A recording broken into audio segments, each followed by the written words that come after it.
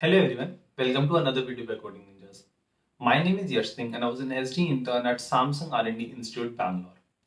So today in this video, I'm going to tell you five things that you can master in C++ programming. So let's begin.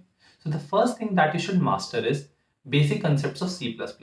That is, you should know how to write code in C++. You should know, you should learn the basic syntax.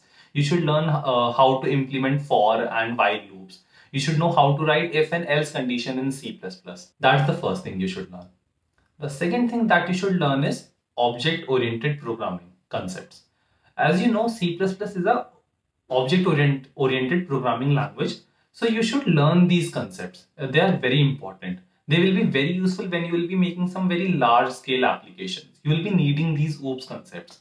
So you should learn the concepts of OOPS.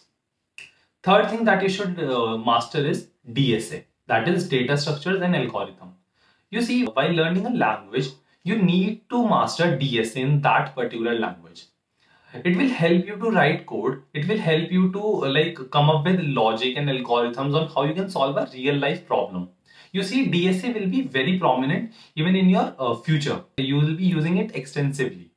So you should master D uh, DSA. There are many platforms for to, to do so. So you should.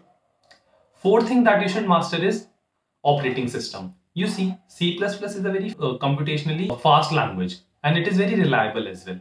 So what you need to do is you need to learn the concepts of operating system in C++ because you see it uh, C++ make, is, an, is a very ideal choice for making applications for operating system. So you should learn them too. The last thing that you can master or you should master is how to make GUI application. So what you can do is you can make a project for a GUI based application uh, and to do so, you need to learn the concepts as well. These are all the things that you can master in C++. I hope this video is useful for you. Thank you. Hi there. Coding Ninjas has brought to you Code Studio's weekend contest, which is happening every weekend. Are you someone looking to test your DSA skills before you sit for your upcoming technical interviews? If yes, then this is for you.